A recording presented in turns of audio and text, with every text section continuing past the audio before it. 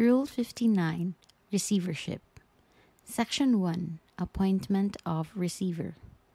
Upon a verified application, one or more receivers of the property subject of the action or proceeding may be appointed by the court where the action is pending,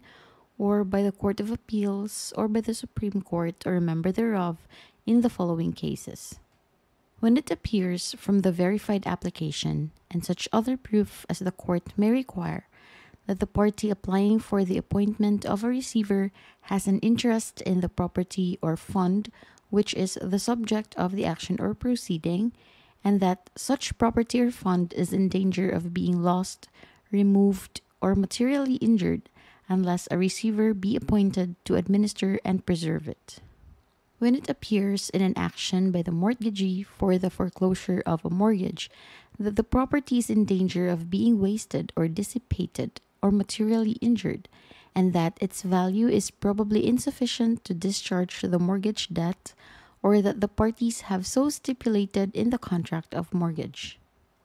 After judgment, to preserve the property during the pendency of an appeal, or to dispose of it according to the judgment, or to aid execution when the execution has been returned unsatisfied, or the judgment obligor refuses to apply his property in satisfaction of the judgment, or otherwise to carry the judgment into effect. Whenever, in other cases, it appears that the appointment of a receiver is the most convenient and feasible means of preserving, administering, or disposing of the property in litigation. During the pendency of an appeal, the appellate court may allow an application for the appointment of a receiver to be filed in and decided by the court of origin, and the receiver appointed to be subject to the control of said court.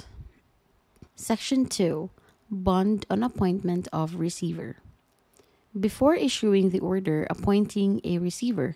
the court shall require the applicant to file a bond executed to the party against whom the application is presented,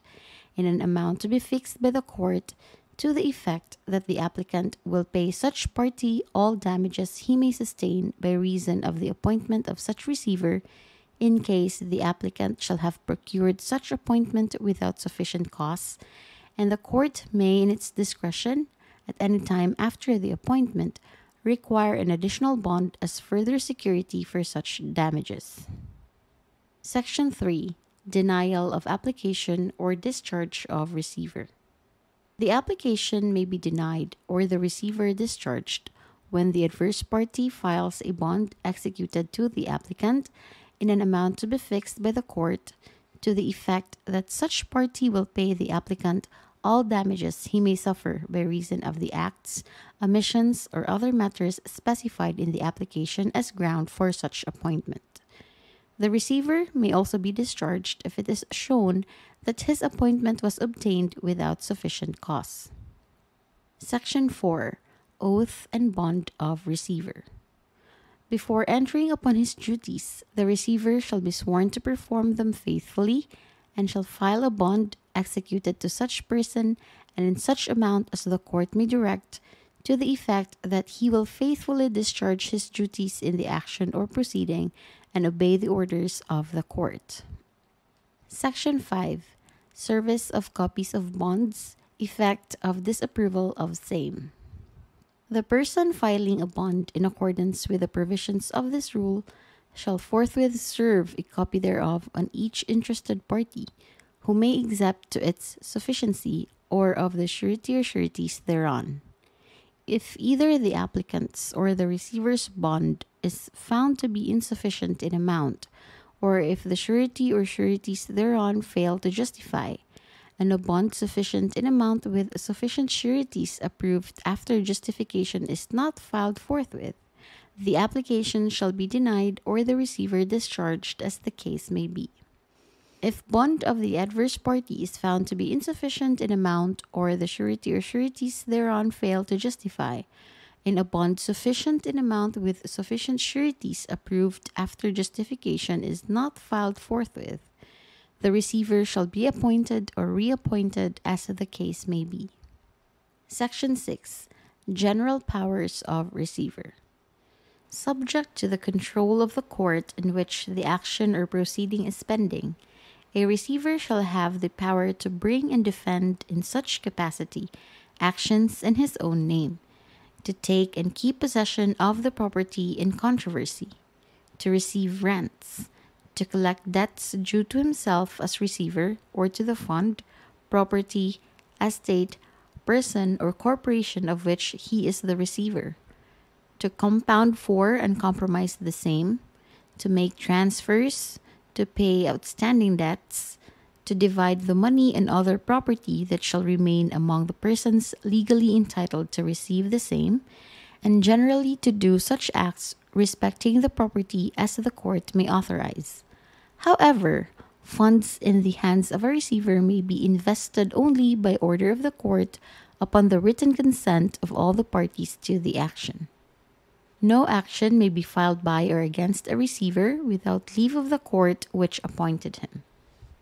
Section 7 Liability for refusal or neglect to deliver property to receiver. A person who refuses or neglects, upon reasonable demand, to deliver to the receiver all the property, money, books, deeds, notes, bills, documents, and papers within his power or control, subject of or involved in the action or proceeding, or in case of disagreement as determined and ordered by the court, may be punished for contempt and shall be liable to the receiver for the money or the value of the property and other things so refused or neglected to be surrendered, together with all damages that may have been sustained by the party or parties entitled thereto as a consequence of such refusal or neglect. Section 8 Termination of Receivership, Compensation of Receiver. Whenever the court, motu proprio or on motion of either party, shall determine that the necessity for a receiver no longer exists, it shall, after due notice to all interested parties and hearing, settle the accounts of the receiver, direct the delivery of the funds and other property in his possession to the person adjudged to be entitled to receive them, and order the discharge of the receiver from further duty as such. The court shall allow the receiver such reasonable compensation as the circumstances of the case warrant, to be taxed as costs against the defeated party or apportioned as justice requires. Section 9 Judgment to include recovery against sureties. The amount, if any, to be awarded to any party upon any bond filed in accordance with the provisions of this rule shall be claimed, ascertained, and granted under the same procedure prescribed in Section 20 of Rule 57.